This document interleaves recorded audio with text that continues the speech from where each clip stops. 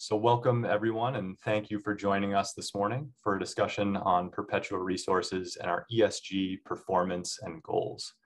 I'm Chris Fogg and I lead our investor relations efforts here at Perpetua.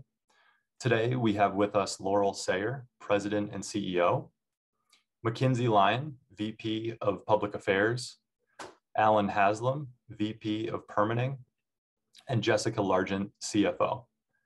We will have a Q&A session at the end of the presentation. And as we go through today's presentation, please note that you can submit questions using the Q&A button uh, at the bottom of your screen to submit questions for today's panelists. And first, we'll hear from Laurel. Over to you, Laurel. Thank you, Chris. We released our ninth annual sustainability report last week. Uh, it highlighted our many accomplishments in 2021 we are excited to share some of them with you today. Our goal today is to provide an overview of Perpetua's approach to sustain sustainability and ESG, including why our approach sets us apart in our industry, how our approach creates value and mitigates risk for our stakeholders, and what we believe responsible American mining should look like. We will also touch on how our approach supports our permitting efforts as we advance toward key milestones for our project. Please take a moment to review the cautionary statements and disclaimers on slides two and three. Perpetua's vision is to redevelop and operate one of the highest grade, lowest cost open pit gold mines in the US provide the country with a critical mineral to power batteries that enable the low carbon energy transition and restore an abandoned brownfield site. The Stibnite project will be powered by the lowest carbon emissions grid in the nation. Our ability to source low cost Idaho hydropower combined with a low strip ratio and an antimony byproduct credit of $70 per ounce we are well positioned in the lowest quartile of the global cost curve. Given our low cost, the Stibnite Gold Project has great economics with a 15 year reserve life and a payback period of less than three years. And we have a valuable byproduct in antimony, which is a critical mineral, and Perpetua can reestablish the primary production in the US. We will play a key role in the clean energy value chain. Our project is located in one of the best mining jurisdictions in the world, and we have strong community support. The strong support we have in Idaho has been built over the last decade as our communities and politicians have seen our commitment to responsible mining and restoration at Stibnite.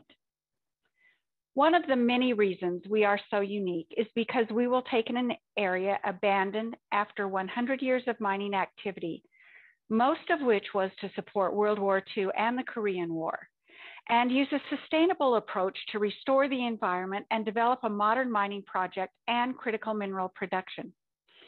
Recent geopolitical events have showed us how important it is to secure critical mineral supply chains at home. And Congress clearly agrees on both sides of the aisle. Recently, the House and Senate Armed Services Committees included antimony in reports for the National Defense Authorization Act. And the House requested $10 million in the Defense 2023 budget to study secure sourcing of antimony trisulfide. Our goal is to reestablish domestic mining of antimony and support our nation's clean energy and defense goals. And the superior economics and returns of our project means we can fund the restoration of our site and solve environmental issues. Our approach to sustainability is guided by our core values and based on the principles outlined here. Our purpose is to leave the project better than we found it, whilst creating a lasting legacy of economic benefit in the community. We act responsibly in everything we do. We believe this approach will have a positive influence on our long-term financial performance. We value transparency and we provide clear, timely disclosure that allows our stakeholders to better understand and evaluate the outcomes from our proposed project. We incorporate environmental, social, and governance factors in our decision making because we believe they will ultimately drive our long-term success. We divide responsibilities and decision-making authority as a governance best practice. And we live our values and share our vision to better ourselves and society as a whole. The fact is, the world depends on mining, and minerals are the first link in the product supply chain. So let's work together to responsibly provide these resources. As I said before, leaving the area better than we found it is a fundamental part of our vision. Perpetua Resources restoration and mitigation plans provide early action on water quality and legacy feature cleanup, as well as concurrent restoration and reclamation for any new disturbances. Our project will ultimately improve water quality, restore fish passage that has been blocked for decades, and it will clean up legacy tailings and waste sites.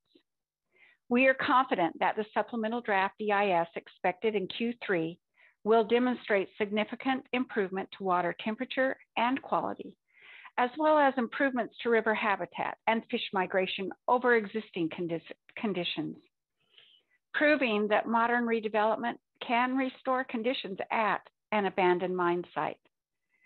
I believe strongly that industry and the environment can and must work together to restore the site. And we are committed to demonstrating to local Idahoans, to our country, and the world that responsible American mining is possible. A more sustainable future has been the cornerstone of our company since the beginning, and the Stibnite project was built with responsible solutions in mind. We began environmental study and feedback gathering in 2010, long before we submitted our plan of restoration and operations to the US Forest Service in 2016. So in, so in 2014, we published our first annual sustainability report for the 2013 reporting year. And we also completed the installation of a solar panel array to provide power to the camp and buildings on site, reducing our carbon footprint and, and costs. In 2018, we completed our dark skies report to better understand the potential impacts that lighting from the project may have on the species and the habitat, habitats near Stibnite. As a result of that study, Perpetua has designed its mine operation requirements for lighting using dark sky best practices to mitigate the impacts to the night sky and the species near the site. We also signed a community agreement in 2018, which established the Stibnite Advisory Council, a way to bring local communities to the table and keep informed on our project developments. We have continuously improved our project since the original plan of restoration and operations and have incorporated feedback from our communities and stakeholders to ultimately deliver an improved plan. We're very excited for the public to see our progress and, the and see their feedback addressed with the release of the supplemental draft EIS anticipated next quarter.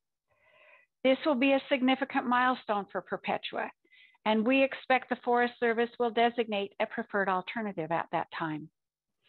As our project advances through the final stages of permitting, our ESG capabilities are maturing as well. We enhanced our ESG policy late last year and launched our sustainability roadmap earlier this year to guide us moving forward. We also adopted the SASB reporting framework this year. Our approach to ESG is designed to mitigate risk and preserve value for our stakeholders, and it is working. We recently received our first permit for the project, the Clean Air Act permit to construct. Our performance in 2021 demonstrates our commitment to advancing our ESG goals and our team's ability to deliver those goals. Last week, we adopted an integrated environmental occupational health and safety management system. We delivered significant improvements to the project design currently under regulatory review. We have had no lost time incidents or fatalities and took action to improve water quality by entering into the ASAOC agreement with the EPA and the Department of Agriculture. So looking forward, we are focused on ramping up our sustainability and ESG efforts as our project advances. and we have already achieved many of our goals, only halfway through this year. Now I'll hand it over to Mackenzie to discuss our approach to social topics, including stakeholder engagement and our strategic partnerships. Thank you, Laurel. Today, there is strong recognition that domestic mining is the first link to a more secure, sustainable, and ethical supply chain. The question, though, from this administration and from many others is how we can ensure that mining done here at home is done responsibly. And that is a question Perpetua is ready to answer. For us, responsible mining means that the social, economic, and environmental outcomes of the project are just as important as the safe and economic development of the mineral resource.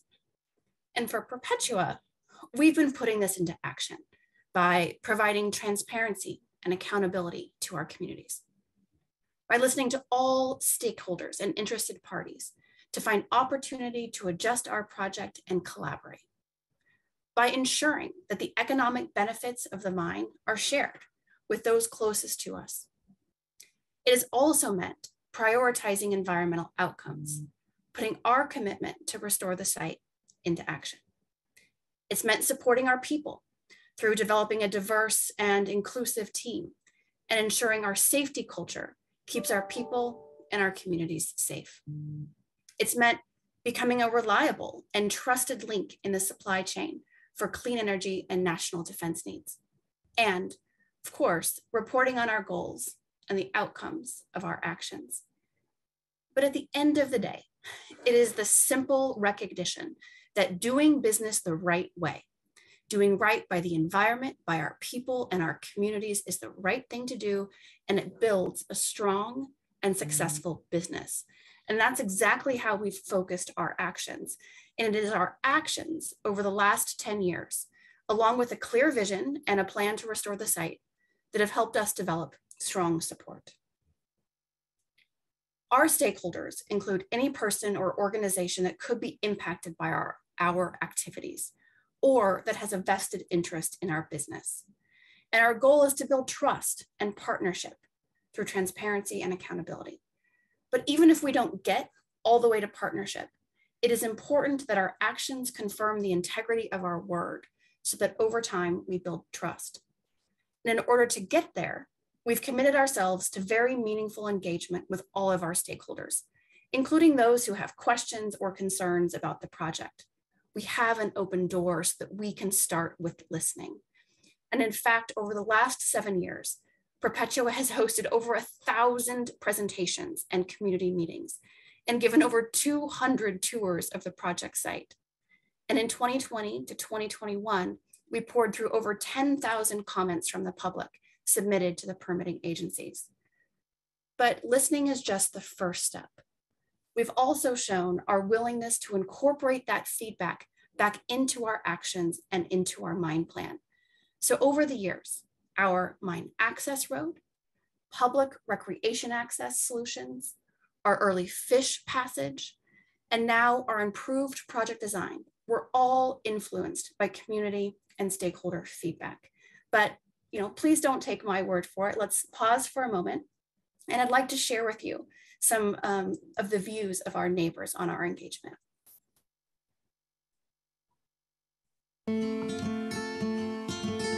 Up here, you can say a lot of things, but your actions have far more weight in them than your words do. We support the community any way we can, you know, and, and all we can really do to build credibility in a community is to do what we say and say what we do.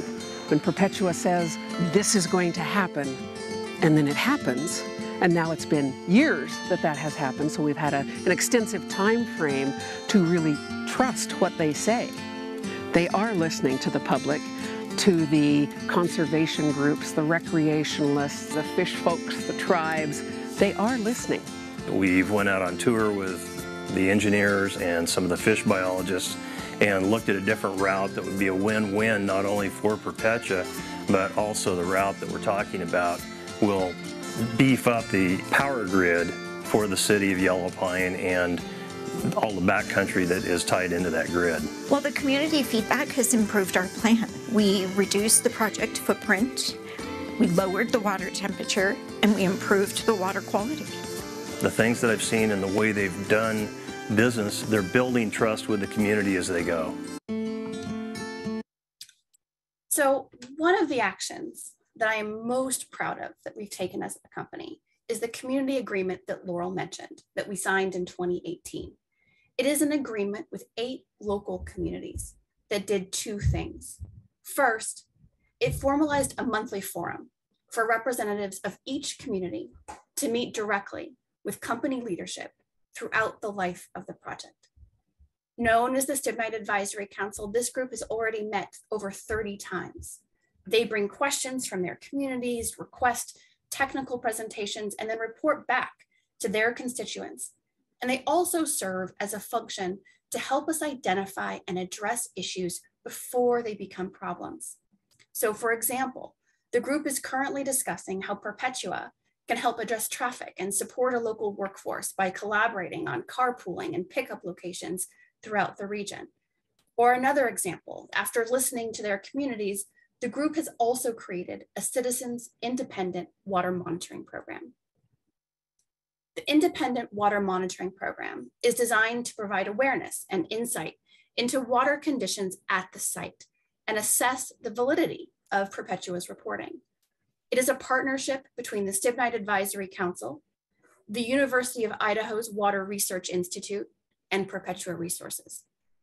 The program collects and analyzes ground and surface water quality samples from at least 10 different locations throughout the site twice a year. The results of the analysis are then compared with the data collected by Perpetua to give the community members visibility into the accuracy of our data and the analysis performed by the company. Additionally, we knew that it was going to be important for us to address the question of sustained economic benefits for our communities. So in addition to our hiring and contracting local preference, we wanted to make sure that communities would benefit financially, even after the mine closes. That is why the second commitment in the community agreement was to establish the Stibnite Foundation, a charitable endowment funded on a profit sharing model with the mine. The foundation is run by representatives of the communities who take in grant applications on an annual basis and work together to fund local charitable needs. For now, we've provided about $300,000 and shares in the company to the foundation, making our communities shareholders as well. And we will make other milestone payments as the project advances. So far, the foundation has provided over $100,000 in charitable giving to organizations in the region, supporting emergency COVID relief in 2020 to school districts, the local hospital, and many more endeavors. And I want to be clear that the foundation and the community agreement are not an impact agreement. Instead, this is the structure by which the company can be accountable to our communities to build systems of communication and solution finding now, so that down the road, if we need to mitigate a community impact, we have the trust and the structure in place to do so. Our community engagement also goes beyond the Stibnite Advisory Council and the foundation. In 2021 alone, Perpetua contributed over 1,200 hours, including 187 hours of education outreach. We donated about $50,000 to local charities and organizations and schools, including scholarships for local students, support for STEM education, and even support and partnership to a regional position to help the region address the current housing crunch in Valley County. Responding to local requests, we also extended some of our training on avalanches and HAZWOPER to local first responders. So in addition to the on the work ground in our communities, being a responsible community partner also means that we are making decisions on how the products from the Stibnite Gold Project can help advance national and global objectives. So antimony, as Laurel mentioned, is one of the products from our um, project. And I often like to say that it's an unsung hero of the critical mineral world Because from munitions and primers for the Department of Defense to solar panels and semiconductors in the energy and technology industries, antimony is critical for the economic and national security of our nation and our energy future. The global supply of antimony, however, has been under the control of Chinese interests for well over 100 years. More recently, in the last decade or so, the Chinese government has systematically taken even greater control over the antimony market by purchasing mineral resources and processing facilities around the globe. In fact, in 2021, 90% of the global supply of antimony came from China, Russia, and Tajikistan. And one of the largest economic reserves of antimony, as one of the largest economic reserves of antimony not controlled by the Chinese, our project could supply an average of 35% of US demand in the first six years of the mine, putting us back in control of our supply chain for clean energy, technology, and defense minerals materials. Strategic partnerships are one way that we can unlock value for our stakeholders and help advance these national and community priorities. That is why in 2021, we entered into a long-term partnership to provide a portion of the antimony from the Stibnite Gold Project to Ambri, an American grid storage battery company. This battery technology is unique. It relies on the simple combination of calcium and antimony. It is scalable up to two gigawatt hours. The batteries are reliable in any environment. They're about 30 to 50% lower cost than lithium ion comparables in 2020 to 2023. They have a 20 year lifespan, double those comparables in the market. And Ambri is committed to US manufacturing, which they just announced that they are tripling their US manufacturing footprint. So with our current agreement, our antimony will power approximately 13 gigawatt hours of stored solar energy on a daily cycle for 20 years. This partnership shows that modern, responsible mining can play in the energy future, in the clean energy future. And we are prioritizing our product to make that a reality. But now I will turn it over to Alan to discuss the permitting process for our project and the role ESG plays in supporting his team's efforts. All right, thanks, Mackenzie. Um, as Laura mentioned earlier, we began our environmental study work and feedback gathering back in 2010. In 2016, we submitted our plan of operations, our plan of restoration and operations or our PRO to the Forest Service, uh, which kicked off five plus years of regulatory review under the NEPA process. We continued to gather feedback and submitted a modified PRO in 2019. Then in August of 2020, the Forest Service released their draft environmental impact statement with a 75 day public comment period. During that comment period, they received about 10,000 letters from the public, and roughly 85% of those were positive. Perpetua Resources listened and acted upon that feedback, both positive and negative, and incorporated a number of suggestions into a second modified proposed action, also known as the Mod Pro 2, which we submitted to the Forest Service in December of 2020. Those modifications were designed to uh, reduce the project footprint and improve overall environmental outcomes. The Forest Service reviewed our modified proposed plan and the remainder of the, the NEPA process is focused on our modified proposed plan with two identified access route alternatives that the Forest Service will carry forward after they've eliminated um, two other alternatives uh, from further consider consideration. Uh, as Mackenzie mentioned, stakeholder feedback is important to the success of our project and particularly for the permitting process. While the process does take a long time, rest assured it is a top priority for us and we're making sure no stone is left unturned as we support the Forest Service and cooperating agencies in conducting their administrative uh, review. The NEPA process is designed to be iterative. Um, it uses data scientific analysis, and public feedback to ultimately reduce potential impacts to the environment. In fact, the 2020 comment period helped identify opportunities to improve environmental outcomes, such as reducing the project footprint, including total mine volume reduced by 10%, including a 70% reduction in the Hangar Flats pit, a total pit disturbance reduction of 7%, eliminating the Fiddle Rock storage area to reduce disturbance by 168 acres. We also um, complete completely backfilled the Hangar Flats pit in the ModPro 2 um, and commitment to install geosynthetic liners on the Yellow Pine pit backfill and the Hangar Flats pit backfill, as well as cover the entire tailing storage uh, facility and the TSF buttress. This will all improve overall project water quality. And um, we also improved water temperature through replacing the existing pit lake and improved shading over, over streams.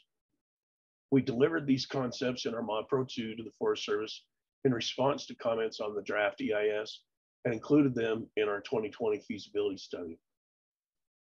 Right now, the Forest Service is focused on our Mod Pro 2 plan with, two, with, with those two potential access routes.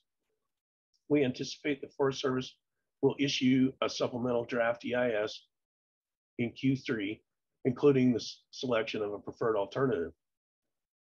We have a clear, well-defined path towards a record of decision focused on evaluating our plan.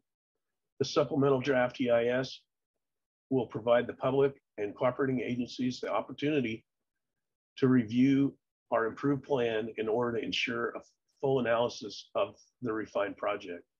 I'm confident that the additional evaluation contained within the, the supplemental will directly address issues raised in the 2020 draft um, EIS comment period. It's also important to note that in parallel with the NEPA process, we're also advancing many local, state, and federal ancillary permits. And I'm happy to report that we received our first permit, the air permit to construct earlier this month. Now I'll turn it over to, uh, to Jess to cover our approach to governments. Thanks, Alan. Our approach to governance is focused on mitigating risk and providing a foundation to support long-term value creation. As a publicly traded company, we are dedicated to the highest standards and have robust policies in place. Corporate governance begins with our board of directors, who provide oversight of our risks and help guide the strategic direction of the company. Perpetua's full board is engaged in oversight of specific ESG topics, including stakeholder engagement, enterprise risk management, cybersecurity, sustainability policies, government relations, and emergency planning and response. The board also delegates certain risk oversight to their four committees, the audit, compensation, corporate governance and nominating, and the technical committee. Those four committees are focused on the ESG topics highlighted on the right-hand side of this slide. As Laurel mentioned earlier, we continue to ramp up our ESG efforts and capabilities as our project advances through permitting. This time, for the first year, our sustainability report was aligned with SASB reporting framework for the metals and mining industry. We were proud to join other industry leaders to ensure the ESG issues most relevant to our business are clearly reported under a widely entrusted framework. That framework, together with our guiding ESG principles and discussions with our management team and board, determined our material topics for 2021. We also compared our business and the risks most relevant to Perpetua to our peers. As we move towards project development, the factors most material may change, but we will continue to use a holistic approach focused on the areas that have the greatest potential impact to our business and our stakeholders. This slide includes a snapshot of our material topics for 2021 and detailed reporting on each topic can be found in our sustainability report. Underpinning our strong governance is a deep bench of experienced leaders and advisors. Our management team has the experience, the passion, and the relationships necessary to deliver on our goals. And more than 80% of our broader team is based in Idaho with deep roots connected to Valley County and our surrounding communities.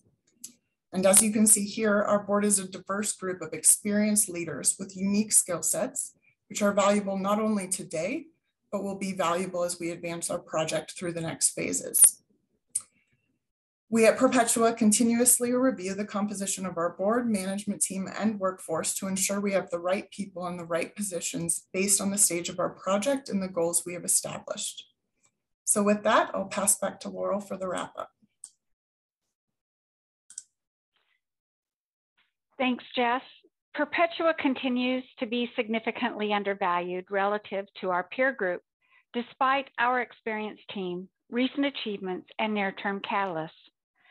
I believe this represents an attractive entry point for new investors. We expect a significant re-rating to occur as we advance through the permitting process.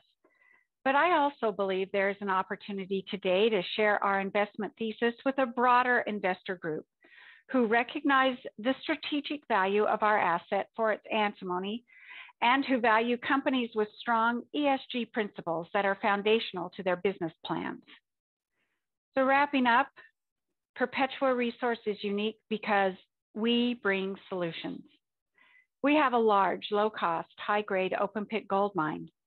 We will offer the only domestically mined source of the critical mineral antimony. And we will use mine development to fund restoration at an abandoned mine site. So thank you. And now we will open up for questions. Thanks, Laurel, and thank you to the rest of our panelists as well. As a reminder to our audience, you can submit any questions that you have through the Q&A function at the bottom of your screen. And I'll just give it a minute here and check to see what questions we have coming through.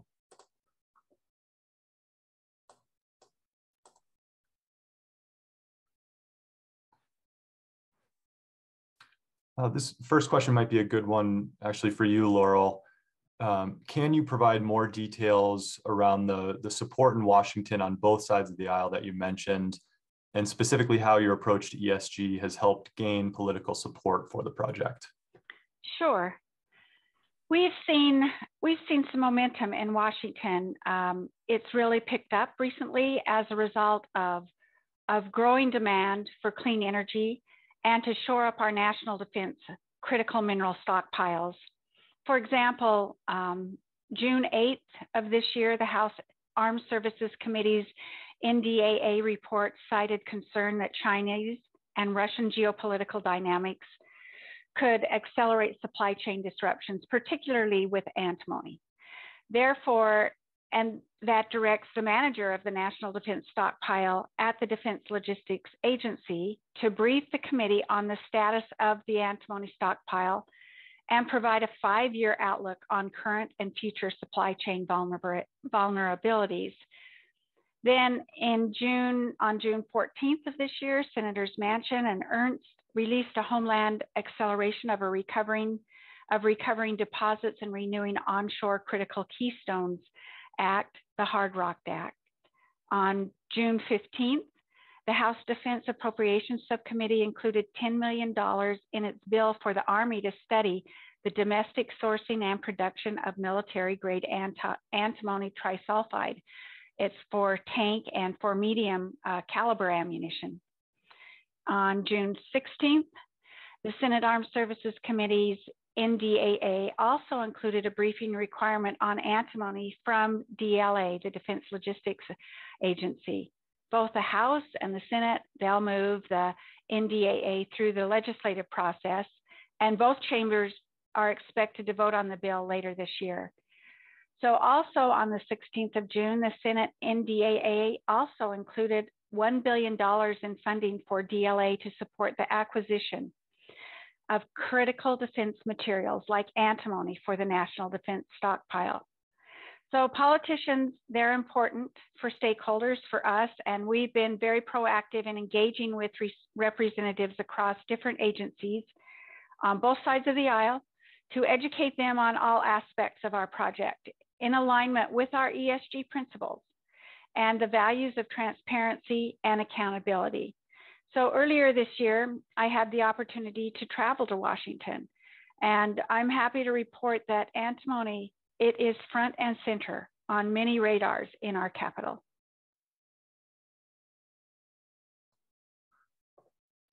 Thanks, Laurel. Next question we have here is, are there opportunities to make an end-to-end -end supply chain built in America, given your partnerships with Ambri and US Antimony? That might be a good one for uh, you, Mackenzie. Thanks, and that's um, that's a great question. And we've taken that first step, right? The agreement with Ambri is that first step for us to be able to start that American domiciled supply chain. That missing component right now is, or not missing, but that next step would then be processing. And, and I can say that we would be very happy to play a role in a complete American supply chain from mine to battery. And so we're exploring a number of processing options for our mined antimony, whether it's antimony metal or antimony trisulfide. And there are domestic facilities as well as others in North America and across the globe. And in addition to that, it's also really encouraging to see the Department of Energy under the leadership of Secretary Granholm begin to direct resources to bring critical mineral processing back to America. And that's, that's really an important step in shoring up these supply chains, but we have to have American mining first. Thanks, Mackenzie. And um, a related question just came in. Do you have any sales contracts yet? Um, and or do you know when you anticipate securing any? Uh, maybe a good one for Jess. Sure. Yeah, tagging on to what Mackenzie was just talking about. So we do have a, an antimony supply agreement with Ambri. It's for a portion of our antimony production. Um, it was not an offtake agreement. There was no financing involved in that. It was just truly future supply agreement of our antimony. So they will be um, a, large customer of ours. And then we we did strategically leave, it was only a percentage and we strategically left some on the table for other customers. As both Laurel and Mackenzie have talked to, um, you know, antimony trisulfide is needed in our munitions and tanks and military gear as flame retardants. So there's a lot of other end uses as well. Um, although we are quite excited about the new battery technology that Ambri is advancing. So yes, we've got a supply agreement, but it's not for 100% of our production. Great, thank you. And this next one looks like a good good one for Alan. Um, can you explain or, or, clarify why you need to go through uh, this, the supplemental EIS process again, given you already went through um, the 2020 process? All right, thanks, Chris. Um, yeah, the, the, the U.S. permitting process prioritizes scientific review and public transparency.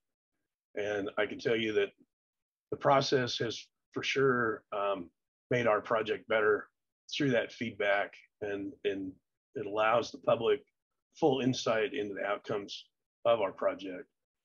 The supplemental draft uh, will review the project updates that we made in response to public and agency comments on the 2020 draft EIS. And while these project changes could have been incorporated directly into a final uh, EIS, the Forest Service believed that additional scientific review by the agencies, along with another opportunity for the public to review, would certainly strengthen the administrative record on the on the project.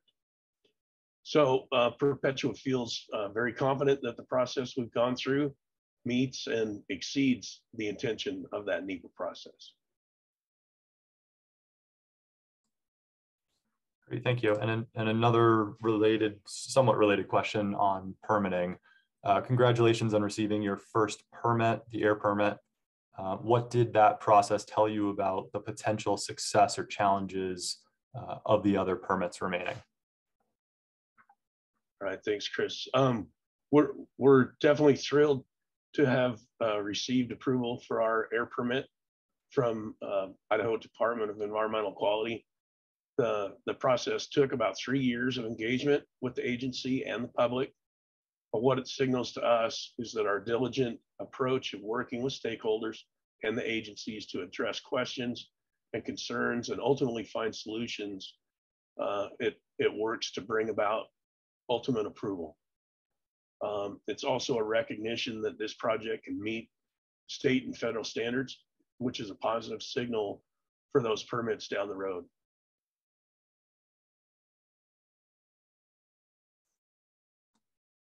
Great, thanks, Alan.